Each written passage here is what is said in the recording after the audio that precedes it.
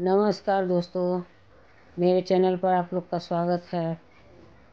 आज मैं सदाबहार बिनका के बारे में पूरी जानकारी दूँगी। ये पौधा पूरे साल फूल देने वाला है।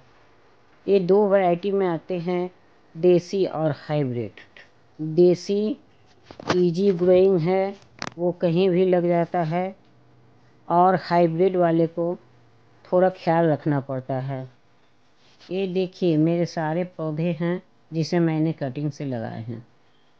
आज मैं हाइब्रिड बिंका की कुछ कटिंग लगाने जा रही हूँ तो सोचा साथ साथ में आप लोग को भी बताऊँ कि कटिंग कैसे लगाई जाती है। और इसकी केयर भी मैं आपको बताऊँगी। बीज कैसे कलेक्ट करना है, वो भी मैं आपको आज बताऊँगी। मेरे वीडियो पर लास्ट तक बने रहिए ताकि आपको पूरी जानकारी मिल सके। मैंने इस बिंका के पौधे को दिसंबर में कटिंग से लगाई थी। इसमें अब बहुत अच्छी तरह से फूल आ रहे हैं। मैं सूखे हुए उनको नहीं निकालती, इसलिए कि हमें बीज चाहिए। और इसमें अब बीज बनने शुरू भी हो गए हैं। तो जो इस तरह से थोड़े से ब्राउन कलर के बीज दिखने लगते हैं, उसे मैं तोड़कर निकाल लेती हूँ। और उसे किसी चीज़ में निकाल कर रख लेती हूँ। ये बीज से लगे हुए पौधे नहीं हैं, ये तो कटिंग से लगे हुए हैं। लेकिन इस तरह से बीज निकाल के रखने पर मैंने इसी के बीज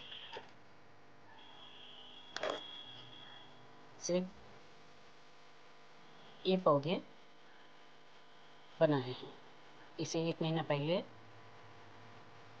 मैंने वो रेत कोकोबिट और बर्मी पोस्ट के नीचे में डाले थे। इतने बड़े बड़े हो गए हैं, लेकिन ये अभी कहीं लगाने के लायक नहीं है। कम से कम ये तीन चार बड़े हो जाएँगे, तब मैं इसे कहीं लगाऊँगी। और इस कटिंग को मैंने एक महीने पहले ग्लास में लगाई थी। अब इसमें फूल आने लगे हैं। तो मैं इसे किसी और दूसरे चीज़ में लगाऊँगी।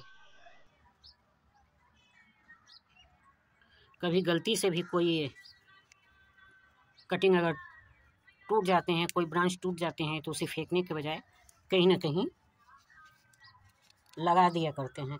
इसी तरह मैंने एक कटिंग इसमें डहलिया की लगाई थी। और इसी में कहीं जगह नहीं मिलने से मैंने इसी में इसको भी लगा दिए थे। अब इसमें भी फूल आने लगे हैं। तो मैं आज दोनों को किसी चीज़ में, इसे मैं इस तरह से दोनों पौधों को अलग कर दूँगी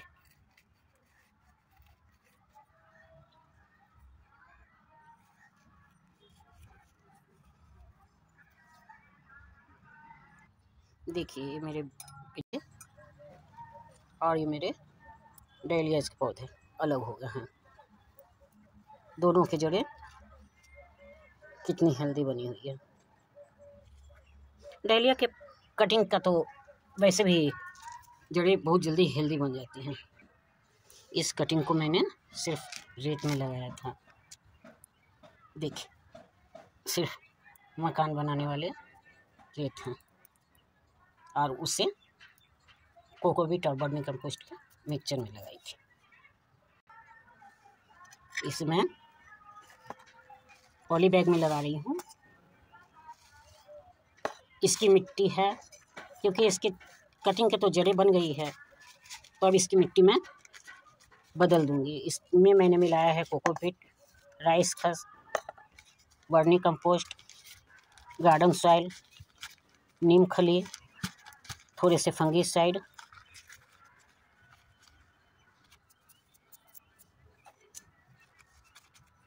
इसमें डालकर मैंने मिट्टी तैयार की है। थोड़े से इसे नीचे की ओर इस तरह दबाकर और पानी डाल देंगे कटिंग आप अभी भी लगा सकते हैं। एक कटिंग किसी पौधे में से काट लीजिए, जिसमें दो तीन नोट एरिया हो और उसे इसी तरह सिर्फ़ सेंड में भी लगा देंगे तो चलेगा। अगर कोकोबिट नहीं होगा तो और अगर आपके पास कोकोबिट है, सेंड है तो आप मिलाकर लगाएँ। पंद्रह बीस दिन में इसमें जड़े बन जाएँगे।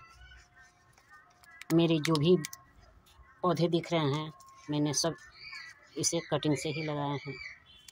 आसानी से लग जाते हैं, इसमें कोई दिक्कत नहीं होती है, कोई परेशानी नहीं होती है। मेरे ये जो पौधे लगे हुए हैं, इसे भी ये जिनिया के हैं। इसे भी मैंने करीब दो महीने पहले कटिंग ही लगाई थी। ये दिनथस है। इसे भी मैं इसी पॉट में कटिंग लगा दी थी। सारे कटिंग मेरे लग गए हैं। मैं इसे भी निकाल कर किसी बर्तन में नहीं डाल पा रही हूँ, क्योंकि पॉट अभी खाली नहीं है। देखती हूँ, फिर आगे किसी पॉट में लगाऊँगी। देखिए चिंतनिया का फूल कितना बड़ा कितना सुंदर है। फ्री का पौधा है। अगर आप भी लगाइएगा तो आपको भी इसी तरह के पौधे मिल जाएँगे। और सुंदर सुंदर फूल दिखेंगे। मेरे चैनल पर नए हैं तो सब्सक्राइब कीजिए, लाइक कीजिए, कमेंट कीजिए, और बेल आइकन को दबा दीजिए, ताकि मेरे आने वाली वीडियो आपको मिल सके। फिर अगले किसी वीडियो में मिलते हैं।